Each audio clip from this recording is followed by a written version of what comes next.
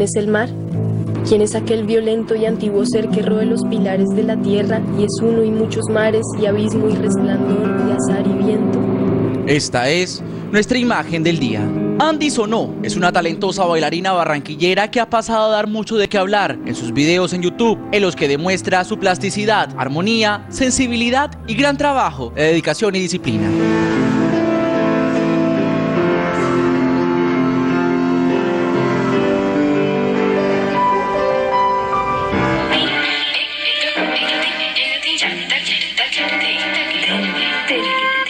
Próximamente viajará a Nueva York a continuar sus estudios artísticos. La otra semana les contaremos más de la talentosa Andy Sonó.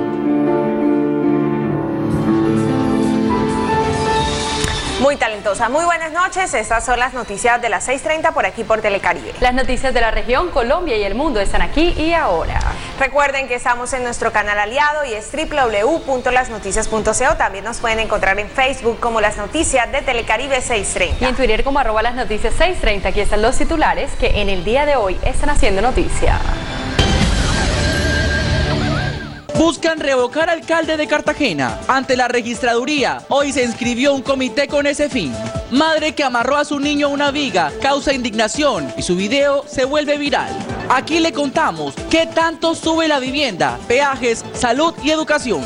Dos muertos en ataque sicarial y enfrentamientos entre pandillas en el barrio El Bosque y balacera en Rebolo. Fleteros vienen a comerciante en Cartagena. Toyota dice que continuará con su planta de carros Corolla en México. Tiroteo en Fort Lauderdale. Y espere al final de la emisión, Caliope, la nueva estrella de la canción.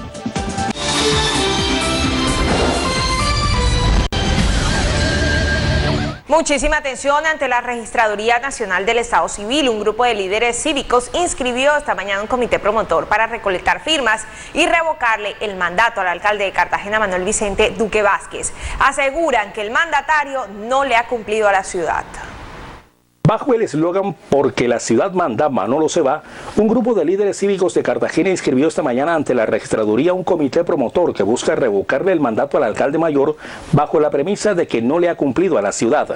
No ha cumplido, no ha cumplido y no iba a cumplir con las metas propuestas en su primer año de gobierno.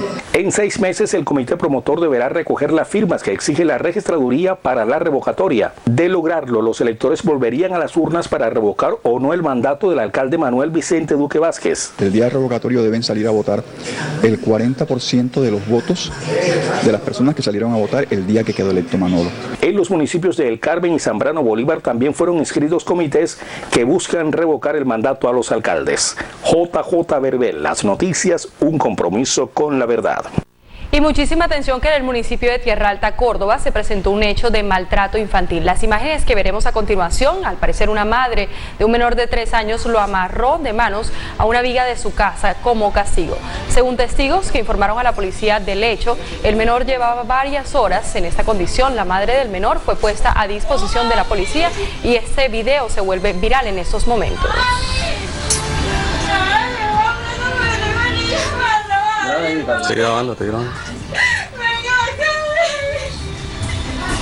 Porque yo dejé al niño castigado ahí, Bastante impactantes estas imágenes. El DANE anunció la cifra de inflación con la que se regirán los precios para el 2017, la cual se trazó en 5,75%.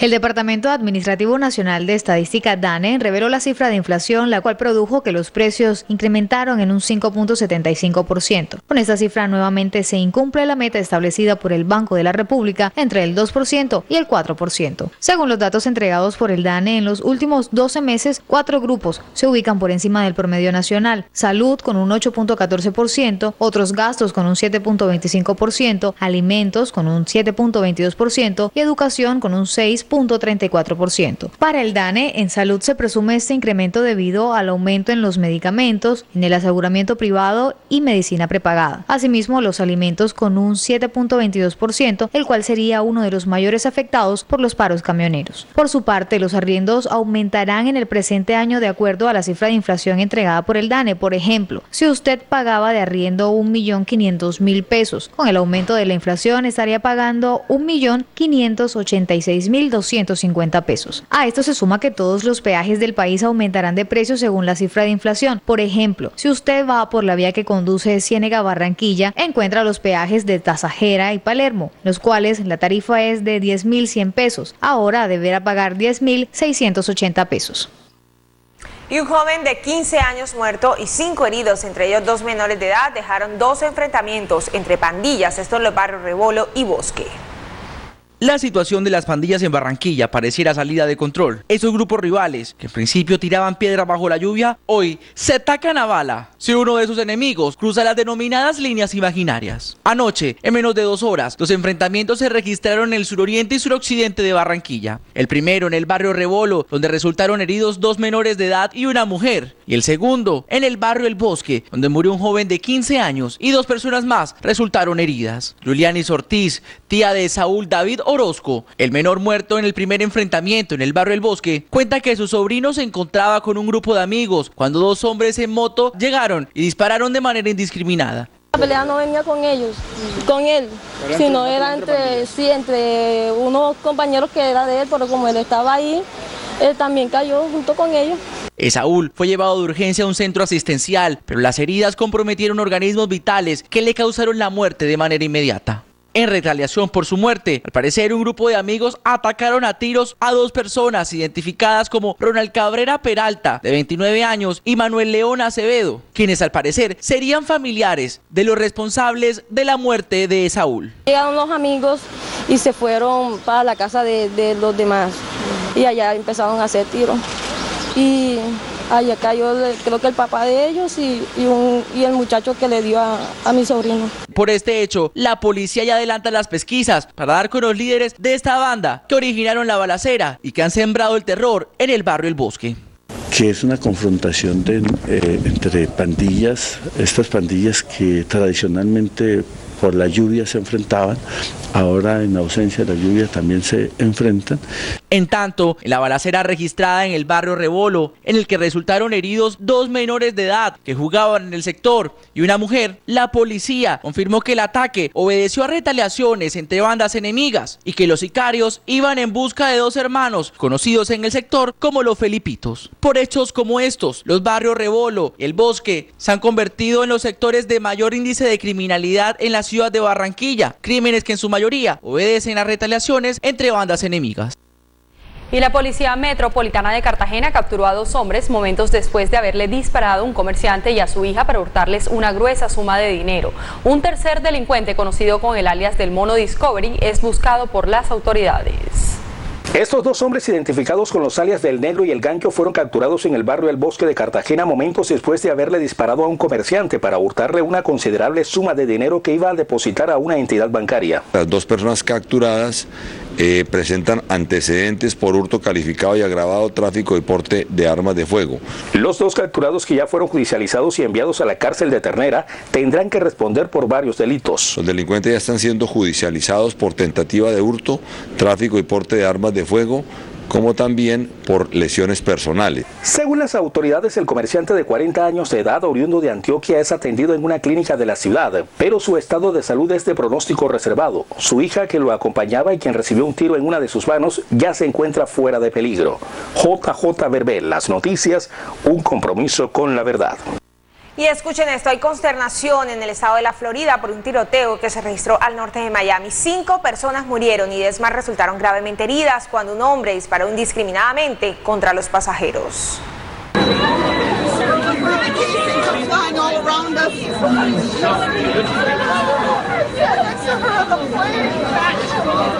Estas impactantes imágenes corresponden al momento inmediatamente después de un tiroteo que se registró en un aeropuerto en Miami hacia la una de la tarde.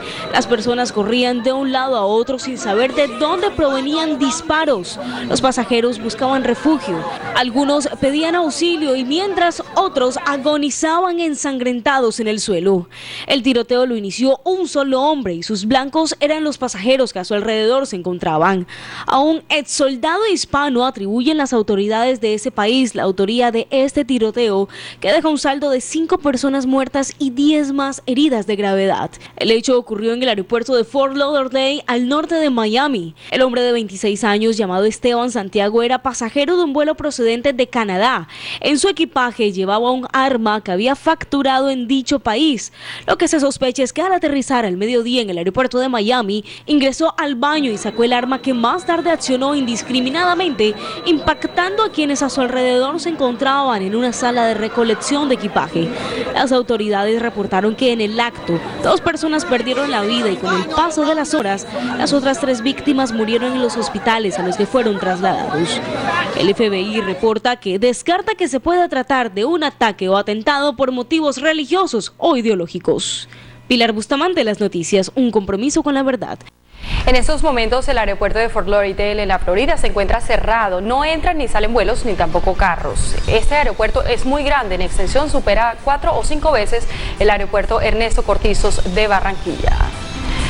Bien, y tenemos más información aquí para todos ustedes en las noticias porque ante la arremetida de Donald Trump a las multinacionales del sector automotriz, Toyota respondió a las amenazas del presidente electo de los Estados Unidos, el cual señala que aumentará los aranceles a un 35%. Tras las amenazas del presidente electo de los Estados Unidos Donald Trump a las multinacionales Ford, General Motors y Toyota, este último respondió por medio de un tuit a las acusaciones de Trump. Toyota ha sido parte de la cultura manufacturera de Estados Unidos por casi 60 años. El volumen de producción o el empleo en Estados Unidos no disminuirá como resultado de nuestra nueva planta en Guanajuato, México, anunciada en abril de 2015, con más de 21.900 millones de dólares inversión directa en Estados Unidos, 10 plantas armadoras, 1.500 distribuidoras y 136.000 empleados. Toyota espera colaborar con la administración Trump para servir a los mejores intereses de los consumidores y de la industria automotriz. Asimismo, el ministro japonés de Economía, Comercio e Industria, Hiroshin Sikou, destacó el trabajo de la compañía. Los fabricantes de vehículos japoneses están haciendo importantes contribuciones en términos de puestos de trabajo en Estados Unidos. Es importante que sus esfuerzos y resultados se reconozcan ampliamente. Es una cuestión de una empresa privada, pero el gobierno está dispuesto a apoyarla. Por ello, el experto en Derecho Internacional explica lo que podría suceder. Hay una figura que se llama retorsión, que es una réplica con relación a ciertas medidas arancelarias que en determinado momento México podía o el Canadá podía tomarlas eh, como medidas para contrarrestar esto o denunciar ante la Organización Mundial de Comercio algunas eh, actitudes que se puedan presentar, porque en este momento son únicamente invitaciones a que tomen una serie de, de, procedimientos. Él debe de, primero que todo, eh, organizar su proyecto de comercialización o económico en la producción de sus empresas americanas. Eh, tiene que ahondar con su respectivo secretario de comercio cuáles van a ser las condiciones a fin de que o haga una renegociación o eh, replantee los procedimientos de su Tratado de Libre Comercio. Toyota comenzó a construir el pasado mes de noviembre la nueva planta en Guanajuato, México, donde debería producir a partir del 2009 hasta 200.000 unidades al año del modelo Corolla, el segundo de más venta en Estados Unidos. Volvemos a noticias regionales. En Sucre la policía realizó seis procesos de extinción de dominios a ollas de microtráfico de estupefacientes y fueron capturadas por esto 14 personas. Las extinciones de dominio a seis viviendas avaluadas en 250 millones de pesos estuvieron coordinadas por la Fiscalía y la Policía en Cincelejo y Toluviejo. Según las autoridades, los inmuebles eran utilizados como acopio de sustancias psicoactivas. Utilizados para la recepción y la venta de sustancias alucinógenas. Estos sitios estaban siendo de acopio y a través de informaciones pues se hace la intervención y se le aplica la extinción de dominio. Durante los operativos fueron capturadas 14 personas, la mayoría de ellas reincidentes en el delito de tráfico fabricación o porte de estupefacientes. O sea, están utilizando los, eh, las casas de habitación para continuar a sabiendas de que se les venía un proceso judicial encima, se hacen verificaciones y por eso corresponde hacer el proceso de judicialización. La policía informó que los propietarios de las viviendas ya estaban advertidos de los procesos de extinción de dominio. Jorge Romero Montiel, Las Noticias, un compromiso con la verdad. Gracias Jorge y con su información vamos a una pausa comercial. Así es, pausa y en breve retornamos con mucho más aquí en Las Noticias.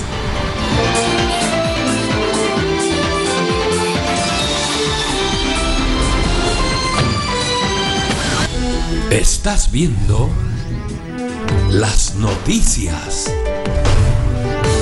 Telecaribe, 30 años de historias.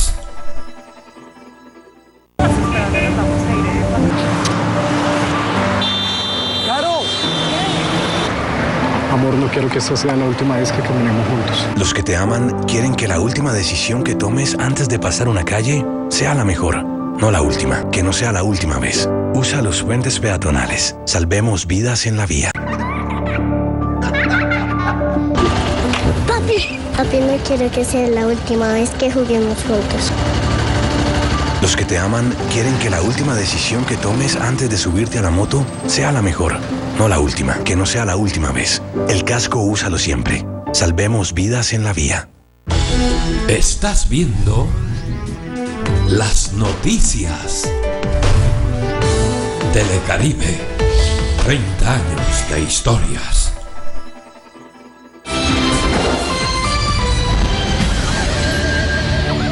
Continuamos con más información aquí en las noticias. La Asociación de Ginecólogos de Colombia celebra que el presidente haya sancionado la ley que extiende la licencia de maternidad. Un representante de estos especialistas explica en qué radica el beneficio para la madre, el hijo y la sociedad. Sobre la maternidad, los primeros seis meses para la criatura son importantes, según los galenos. Los vínculos afectivos crean un saludable perfil psicológico en el menor. De acuerdo con la extensión de la licencia de maternidad, esto opina este ginecólogo. Yo creo que este es uno de los pasos importantes que ha dado nuestro país. Creería que estábamos caminando hacia el primer mundo. Si tú miras en Europa, eh, los periodos de maternidad son por un año, por encima de un año. Eh, pero ¿qué se gana? O sea, gana el bebé, gana la madre y gana la sociedad. Cuellar considera que para la salud de la madre amamantar al bebé es clave y es un error evitar hacerlo. Con este hábito los niños crecen saludables emocional y físicamente. El bebé porque está cuidado por la persona que más lo ama en el mundo, que es su mamá. La madre porque eh, va a disminuir el riesgo de depresión postparto, eh, va a lograr recuperarse del parto de la cesárea. Y la sociedad porque no ahora, pero en un tiempo prudente de unos 20 o 30 años vamos a ver reflejados en que va a disminuir el número de pacientes con problemas psiquiátricos. Para él aún falta mucha tela por cortar, según la legislación en Colombia, de acuerdo a la licencia de maternidad. Para este experto debería extenderse por un año, pues es la etapa clave del desarrollo de los menores. Pilar Bustamante, Las Noticias, un compromiso con la verdad. Etapa clave, así es, Pilar, muchas gracias. Vamos inmediatamente a nuestra sala de redacción. Ahí se encuentra Jason Barandica con más información aquí en las noticias. Jason, buenas noches, adelante. Muy buenas noches, los saludos desde la sala de redacción. Y son lamentables las noticias que nos llegan desde la ciudad de Cartagena. En medio de un voraz incendio murió calcinado un bebé de un año de nacido, identificado como José Armando Verena Maza. El hecho se registró en el barrio La Princesa de Cartagena. Según las autoridades, el pequeño dormía solo en una habitación del segundo piso de la vivienda donde se generó la conflagración. Las causas del incendio aún son materia de investigación por parte de las autoridades. De información de la sala de redacción, sigan ustedes con más noticias. Gracias Jason por la actualidad desde la sala de redacción y Valledupar está de aniversario. Nuestro corresponsal Ramón Meneses está allí directo desde el Cesar. Hola, muy buenas noches. Compañeros de las noticias de Telecaribe, los saludos desde la capital mundial del vallenato, Valledupar, que hoy llega a su aniversario número 467 y hoy precisamente el alcalde de la capital inicia el programa de reconversión laboral con los carromuleros de esta ciudad. Señor alcalde, explíquenos qué consiste este proyecto. Bueno, estamos felices de ver la alegría de mucha gente que durante años el sustento que llevaba a sus casas se lo ganaba en unos vehículos de tracción animal. Hoy la buena noticia es que nuestra alcaldía ha puesto unos recursos para la reconversión sociolaboral. Ellos nos entregan el caballo, nos entregan la carroza y nosotros le entregamos un motocarro. José Calderón, ¿cómo recibe usted este regalo que hace la administración municipal? muy feliz, eh, agradeciéndole aquí al señor alcalde que eh, nos cumplió, ha tenido esa disposición con nosotros 100%. Hoy en día yo quiero que aquí están mis compañeros, le demos un fuerte aplauso al señor alcalde por esta iniciativa que tiene, agradeciéndole mucho la voluntad que ha tenido con nosotros.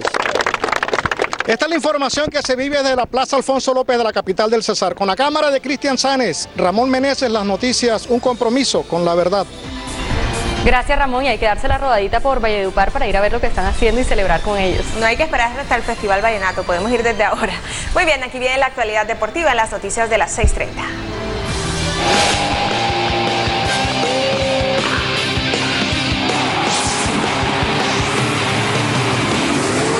El Junior de Alberto Gamero sigue enfocado en su pretemporada. Los trabajos físicos a cargo del cuerpo técnico del cuadro tiburón han estado orientados a recuperar a los jugadores después de las semanas de descanso de fin de año. El equipo tenía años que no hacía la pretemporada. Entonces eso acarrea de que el jugador eh, es una base que está el 80% de los jugadores hace tres años. Entonces a ellos les cuesta la pretemporada. Ahorita no han empezado duro, ahorita han empezado siempre para correr, hay que prepararse. Ellos creen que corriendo, no, primero hay para correr hay que prepararse. Con la idea de realizar trabajos aeróbicos y programar un amistoso, el entrenador Samario decidió llevarse a sus dirigidos la próxima semana a la altura de Paipa, en Boyacá. Lo que nosotros buscamos allá en Paipa es un acondicionamiento, es un, trabajo que, que el jugador lo asimile y que pierda el miedo de jugar en altura. Allí se intensificarán las sesiones y los jugadores saben que será más duro el trabajo. Ya ellos saben, por eso le digo anteriormente, el jugo de mango para que estén tranquilos, estén preparados, porque ahorita viene el jugo de maracuyá que es bravo. Junior viajará a Paipa el próximo lunes 9 de enero para regresar el 16 de este mismo mes. Tras un leve receso de fin de año, vuelve este fin de semana a una de las ligas más importantes del mundo y algunos de nuestros jugadores entrarán en competencia en este 2017, tratando de destronar a la poderosa Juve de Juan Guillermo Cuadrado. El español Rafael Nadal quedó eliminado este viernes en los cuartos de final del ATP de Brisbane, luego de caer en tres sets ante el canadiense y actual campeón del abierto, Milos Raonic, con parciales de 4-6, 6-3 y 6-4. Esta es la primera derrota del año de Nadal.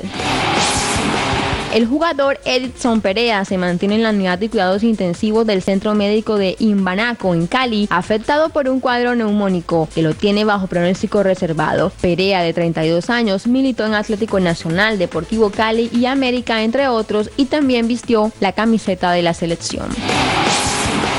Toros de Cincelejo derrotó nueve carreras por dos a Indios de Cartagena y se instaló en la final de la Copa Claro Sports temporada 2016-2017 y puso a soñar a la afición sucreña con la conquista de la segunda estrella en el béisbol profesional colombiano.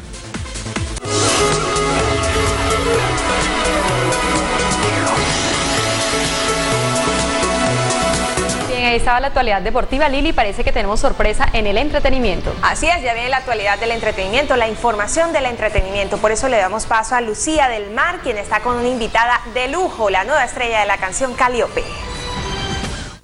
Hola, soy Lucía del Mar. Caliope, bienvenida a las noticias de las 6.30. Estamos muy felices de tenerte aquí. ¿Cómo estás?